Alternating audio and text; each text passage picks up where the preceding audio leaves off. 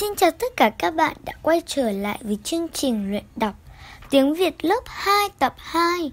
Hôm nay chúng ta sẽ đọc bài Thư gửi bố ngoài đảo, bài 22. Trước khi vào bài đọc, chúng ta sẽ đọc phần giải nghĩa trước nhé. Hòm thư, thùng để bỏ thư. Chúng ta bắt đầu vào bài đọc thôi nhé.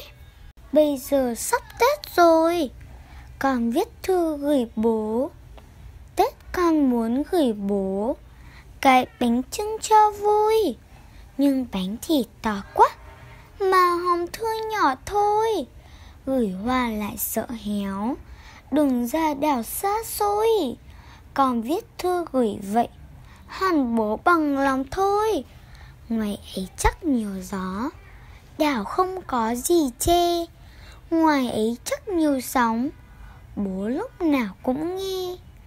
Bà bảo, Hằng già biển là bố đấy.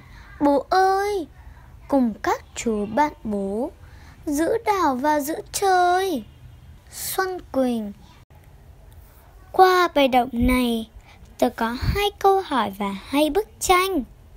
Khi tớ hỏi, Các bạn hãy lắng nghe. Khi tớ hỏi xong, Thì các bạn hãy nhìn tranh và trả lời cho tớ nhé. Câu hỏi số 1 Em thấy những ai trong hai bức tranh? Bức tranh số 1 Các bạn thấy những ai nào? Uhm... À, tôi thấy một bạn nhỏ Bức tranh số 2 Là ai nhỉ? Uhm... Là chú Hải quân đấy Và bắt đầu câu hỏi số 2 nhé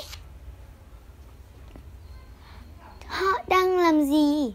Bức tranh số 1 Bạn nhỏ đang viết thư gửi bố. Bức tranh số 2 Bố đang ở đảo xa để căng dự biển chơi. Đến đây là kết thúc.